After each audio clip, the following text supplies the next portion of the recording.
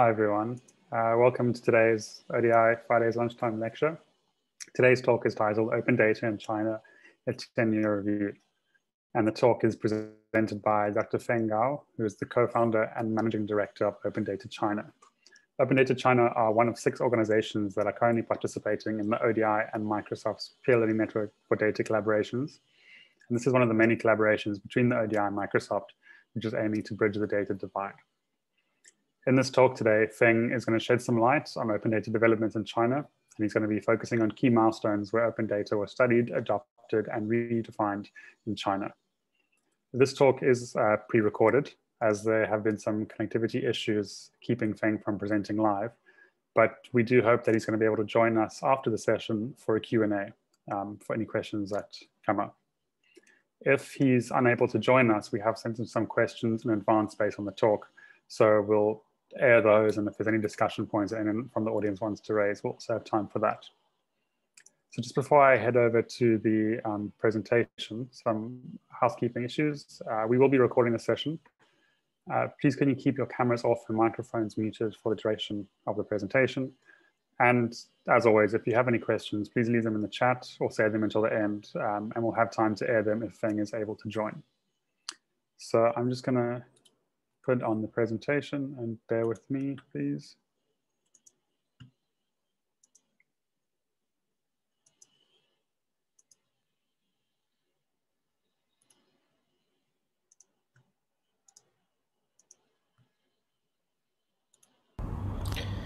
Thanks ODI for this wonderful opportunity to talk about open data in China. I personally am a long-term audience to this uh, lunchtime talk series and so excited and honored to be a speaker today. Before we started the story of open data in China, I would like to first briefly introduce who we are as Open Data China. Uh, in 2012, we first started as uh, Open Data Foundation's local group. Then we uh, expanded and incorporated ourselves into Open Data China in 2014. Uh, by the beginning, we really work on the open data policy thoroughly, but now we expand our focus to much wider on open digital governance, digital rights, and uh, open economy. We are one of the key stakeholders in China uh, open data ecosystem, and not only delivering uh, research, opinions, and uh, uh consultations to uh, governments, but also we uh, actively participate in the front line implementation of open data initiatives, assisting the governments, but also building up communities for the wider uh, hackers, journalists, and the publics. So this talk will be based upon our own experience, uh, observations, and reflection uh, about our work and our uh, observation in the past 10 years.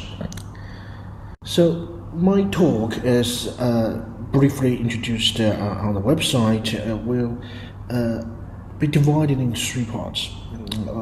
Uh, the very first part I would like to cover uh, some quick facts about China's open data ecosystem or how it works in China. So the very first one uh, fact is, of course, that open data exists in China. Uh, technically, the requirement of publishing data in a machine readable way is something really well adopted in China because uh, China favors this kind of machine readability to uh, push forward the agenda of open uh, data economy. However, uh, open license, uh, which uh, face much harder problem in landing on the ground, part of the reason is for almost decades or two decades that in China, uh, this kind of license is something poorly understood, and most of people don't really know what license is and why we need it with uh, software or with uh, the code or with the uh, data. So it is takes time to educate people to understand what open license is. Uh, however, the situation might be changed or improved as we are pushing forward the data economy in China. So the government and the market itself uh, needs this kind of a legal tool to uh, ensure everybody play the same game and the same rule. The second factor is, unlike many uh, Western countries where uh, probably in UK or in US, uh, usually government open data, uh, open government data starts from central and this takes time and efforts goes to the local and make a local impact. In China, it happens uh, completely opposite way. Uh, Shanghai and Beijing are the two cities first adopt the open data idea and then grow into um, nearly 150 local portals now uh, in the past decade. However, we still don't have a national portal, which is interesting uh, as it was earlier reported that by 2018 we should have one, but it's still not.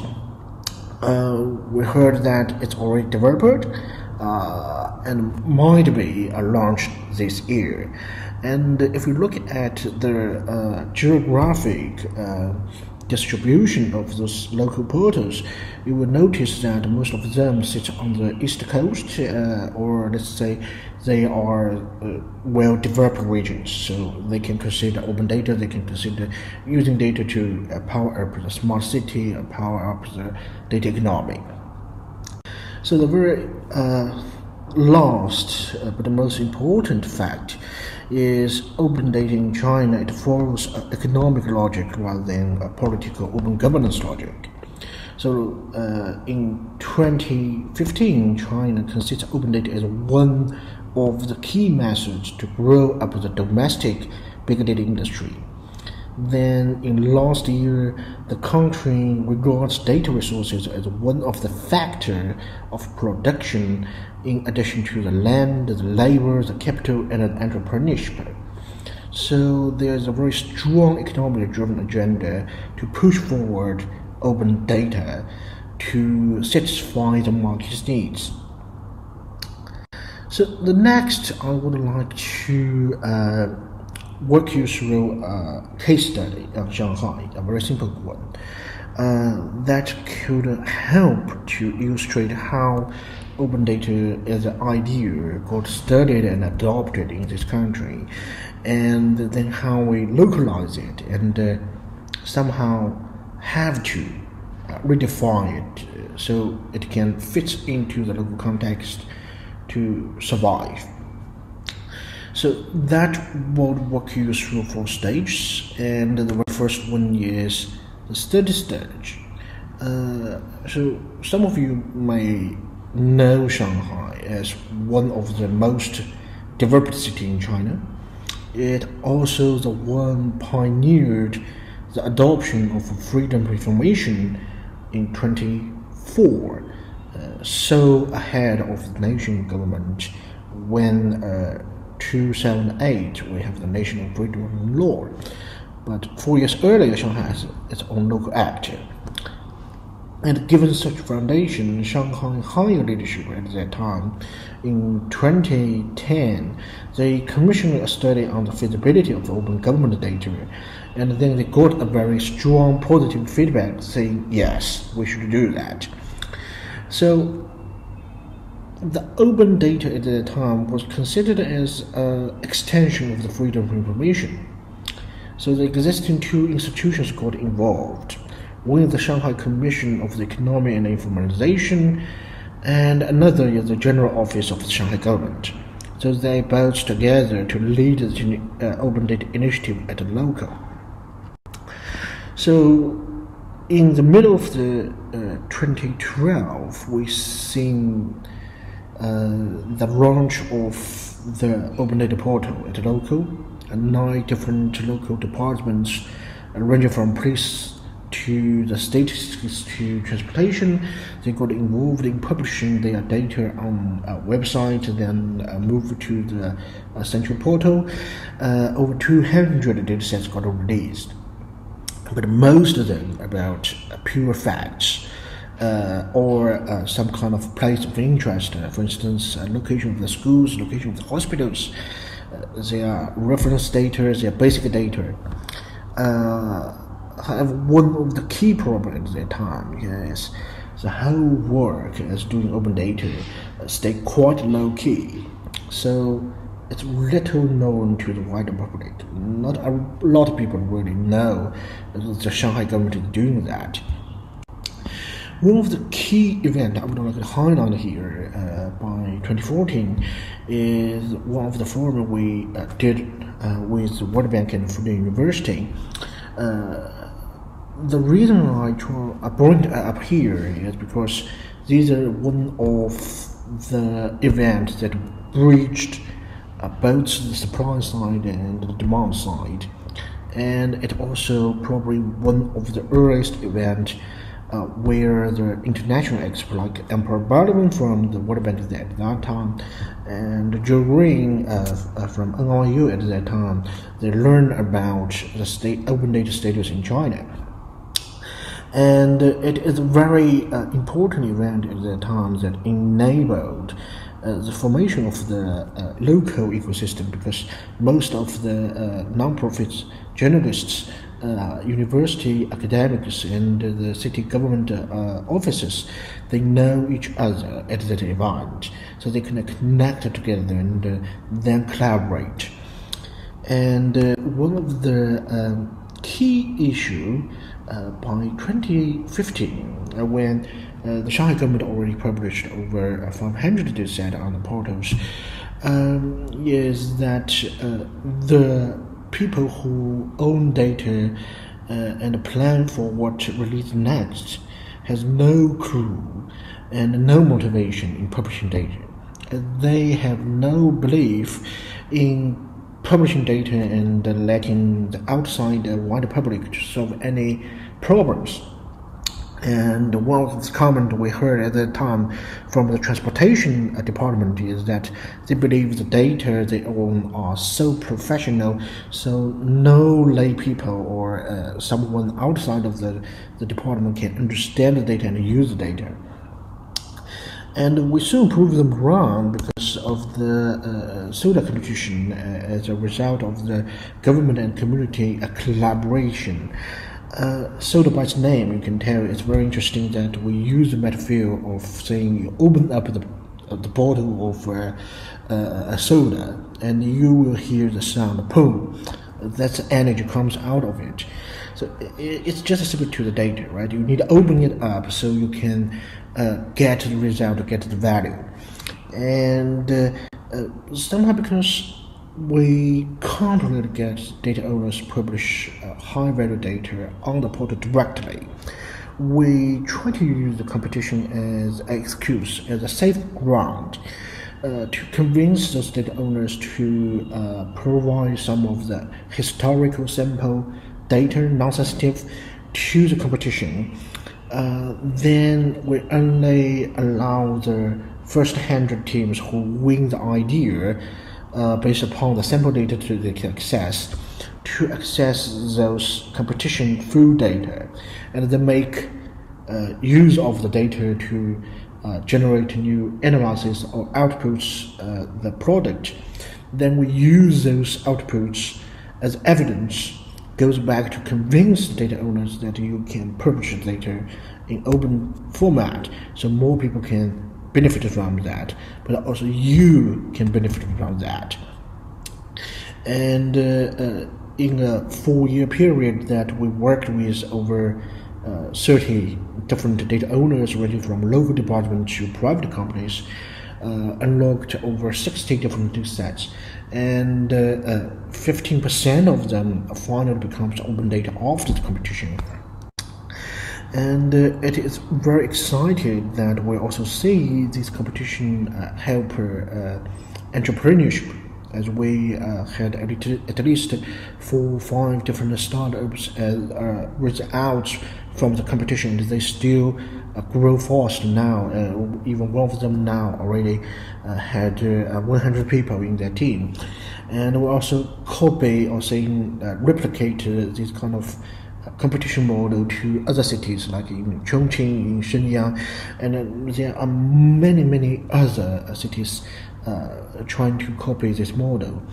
Uh, and we also feel really grateful uh, during the stage of uh, SODA that we get a really strong uh, support from the UK DIT, but also ODI at that time sent some experts to China to to um, advise how we can better run the open data government initiative and SODA. then in 2019, um, we finally reached uh, a bottleneck that where the city government already published uh, uh, over, I think, uh, nearly 2,000 data sets. Some of them are uh, downloadable, some of them are in API format. Um, but it is becomes much, much, much more harder to publish high value data. Part of the reason is that under the logic of uh, economic agenda, that you invest into a publication of the data, then you expect a, a huge return, especially money return, uh, tangible benefits from that. And it unlikes open government uh, logic, where uh, publishing open data is one of the responsibility of the government and to satisfy the requirements of transparency. So you don't really argue for money return, you argue for uh, a better reputation of a government. Uh, while in China, we the, the government favors the economic agenda uh, much, way much more stronger than the government agenda, open government agenda. Then under that kind of economic logic, you find uh, unbalance uh, needs of uh, supplying data and uh, and getting the return from the, the, the, the publication of the data. So we finally reach that point that the government itself feel really hard to continue uh, improving the open data program at local. So in 2019, we surprisingly uh, found out that the Shanghai uh, government when they try to release a new open data actor. Uh, in that uh, draft, uh, they actually redefine or reframe what open data means at local. Uh, they actually divided into two pieces. the first piece is unconditional open data, which is completely the real open data uh, and the second part, which is so-called conditional open data, so including uh, data that requires uh, a lot of effort in anonymizing that, or uh, you need to provide the data in real-time manner uh, in API format. So basically, that means you need to invest a lot of money in the technical infrastructure in order to provide the data, and this kind of data will be classified as conditional data. And uh, what that means to users? That means as a user, you need to apply for the data, you need to submit uh, application form to the data owners to request the data, and you need to tell them uh, what kind of usage you are uh, you are describing, why you wanted the data, what you what's it for, and uh, the data owner will assess whether this is one of the uh, data use they will grant and approve your uh, your rights to access. And they may need to assess also uh, whether they can really earn benefits from your usage. So um, at that time as an open data active advocate uh, we feel really disappointed and sad because it's kind of saying that open data uh, is dead in China. Uh, but after some of the discussion with the international community, we also found or under, understood that probably we, we put too much focus on uh, publishing data as in an open manner as uh, undergo as output that might be an end. But applying openness as an overall principle into data governance might be the real focus we should uh, we should push, and that idea can survive. What that means because we're in a digital age that China pushes the big data, pushes the AI, we're looking at not only uh, the transparent data flow access, but we're also looking at how much data got collected at the first place, whether this is has asset enough, and uh, about the use, about the data standard. There are so much more things we should really look at and push forward the principle of open. And the interesting is even under the logic of uh, data economic economic agenda, uh, to create a fair market or create a, a, market environment where people can really benefit from uh, the ground market rule and uh, to have a healthy uh, data economy. That means that we need a transparent uh, data uh, standard. We need to have participatory data community. We need to have fair data access. All those things means that we need to win trust and create a trustworthy environment for the data governance, for the data economy. So in this sense, we believe openness must still have its place in China in its uh, digital economic agenda we may see a stop of releasing more high value data as purely open data, but we may see that more data can released or uh, got um, accessed and used and managed or let's say stored in um, in a way that follows open principle. So that's our hope, and uh, that's work we will continue to working on and that's all the things I would like to uh, share. And uh, I'm happy to take any question from you. And you are welcome to visit our website uh, or email us at the contact at opendatachina.org or follow us on the newly created uh, Twitter account. Thanks.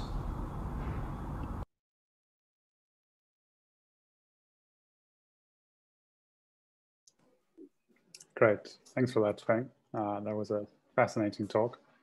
Um, Feng has just joined us. So um, hi, Feng. Thanks. Thanks for joining hello, us. Hello, thanks. Hello, hello, guys. Yeah. Great. So if we have any questions from the audience, please feel free uh, to ask them or put them in the chat. Uh, but in the meantime, while we wait to see if there are any, um, we had a chance to to ask Feng some questions from the team in advance. So um, Feng, if you don't mind, I'm just going to pick a, a, few of those just to just to ask your, your thoughts on what the team sure. asked. Uh, the first one is about open licenses in China. Uh, you said yep. that in between 2012 and 2014, open data was published under websites terms of use. Uh, what's the situation like today? Uh, did the discourse around licensing evolve? And what are the sort of latest developments you can share on, on that front? Yes, uh, I would say as the situation gets kind of better uh, as um, most of the cities start looking at whether they should uh, adopt this kind of open license because of the um, annual uh, assessment of the uh, open data performance at local conducted by academic and independent research researchers in China, uh, kind of based upon the open data barometer approach. Um, another thing I would like to uh, mention is that uh, just uh, in this year that uh, we as uh, Open Data China, we also worked with uh, Shanghai Jiao Tong University. We start developing a new open data license standard for for Chinese government and for for industry. So um, the hope is yes, definitely would like to have more governments and even private sector to adopt this kind of open license and to publish publish uh, as much as possible open data. Yeah. Okay, great. Thanks for that. Uh, I see there's no questions in the chat. Um, if someone from the audience has a question, please just feel free to take yourself off mute and ask. But in the meantime, I'll, I'll ask you another question that we had from the team. Um, the question says that it's interesting that the rise of open government data is linked to Freedom of Information Act in Shanghai. Uh, in your talk, you said that Shanghai issued an open government data feasibility study.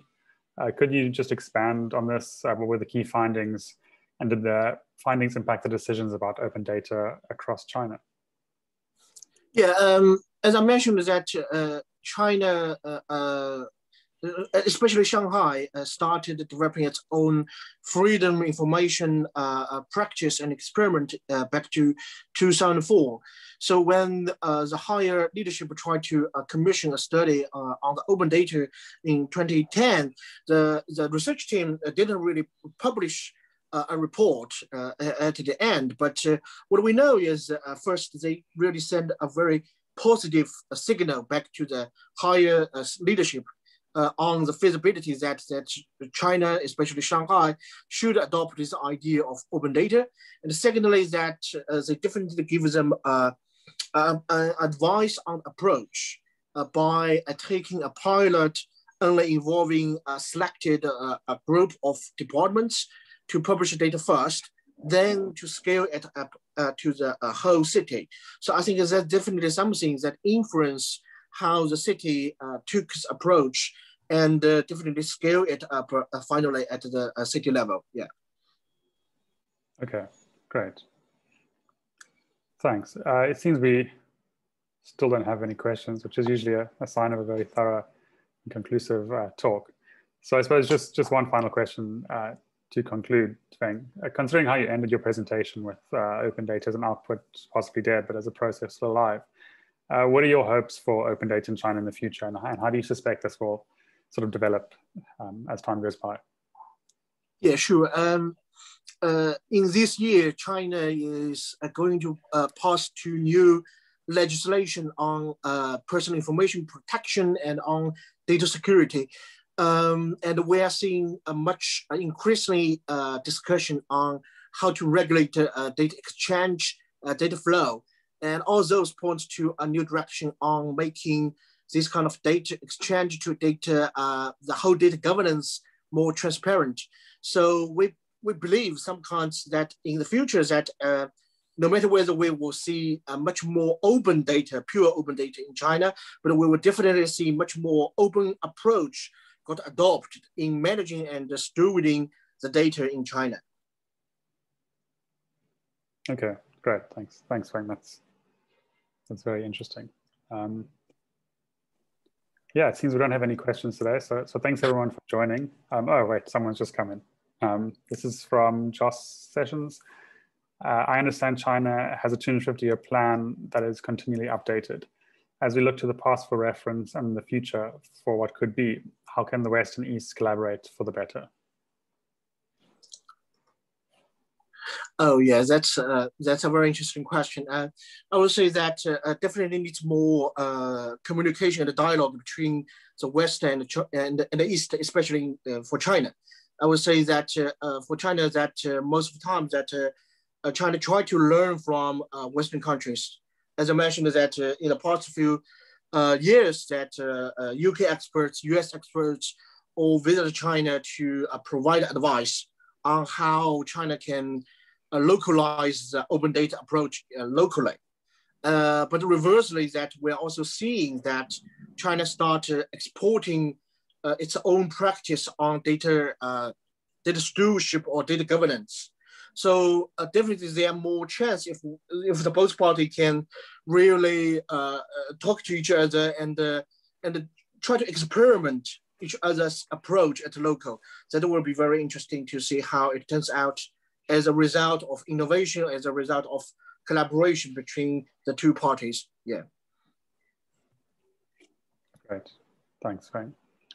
Um, I suppose we'll just give it a moment. If anyone has any any follow-up questions, please feel free to ask. Yeah. Joss says, great, thank you. Thank you. Frank, do you have any any closing comments you'd, you'd like to make for for everyone here? Well, um, I definitely would uh, would encourage more uh, people, uh, especially from Western countries, uh, to uh, to look at how how China is doing uh, open data and adopting the open principle at a, at a local level. And would definitely welcome more people coming to China to really provide your advice and really experience and advice uh, on how China can better really apply this kind of open principle into a data or much generally, let's say, digital governance. that's much important in the next, uh, let's say, 20, 30 years, especially when we talk about uh, Western China collaboration. Yeah. Great. Thanks, Frank. Is there a question from anyone else?